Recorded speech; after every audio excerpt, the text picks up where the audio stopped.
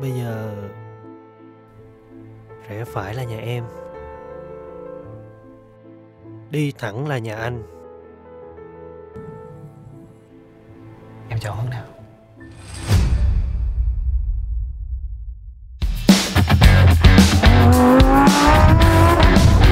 Rồi đến chưa? Trời ơi. Tôi là Vương Hoàng Một diễn viên giàu có nổi tiếng. Khoan Chưa thay đồ, chưa make up, chưa gì hết Diễn dính dữ em. Và cũng là một phất boy chính hiệu. Cái này là xì xú ED Đó là nếp Còn đây là chiều Thằng ông bây giờ việc chơi qua đường không được có tưởng mình hay. Hiểu chưa? Làm ba mà để đi chuồng con Surprise chồng yêu?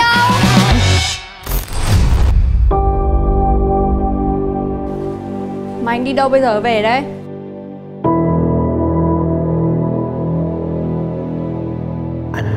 với em làm tình trên cái giường của nó.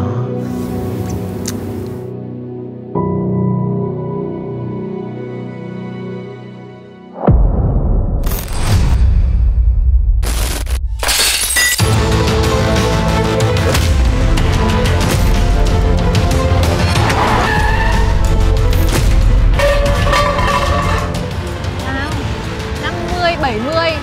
Hay là giữ lại danh cho anh. Hai ngày nay từng gặp nhiều hot girl và điện thoại những lên tiếng Chẳng phải cái đám nghệ sĩ của anh ấy.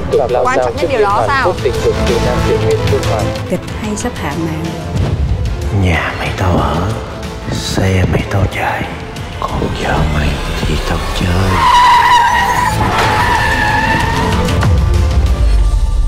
Xin với người Xin đừng tha thứ anh. Xin hãy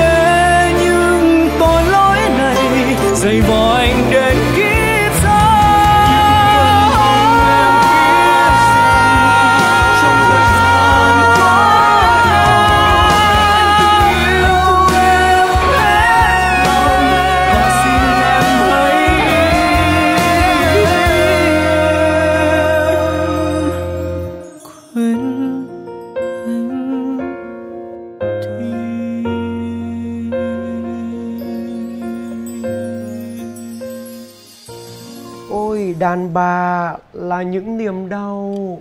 Ôi đàn bà là mật ngọt trăng sao? Ôi đàn bà lại là con dao làm tim nhỏ mau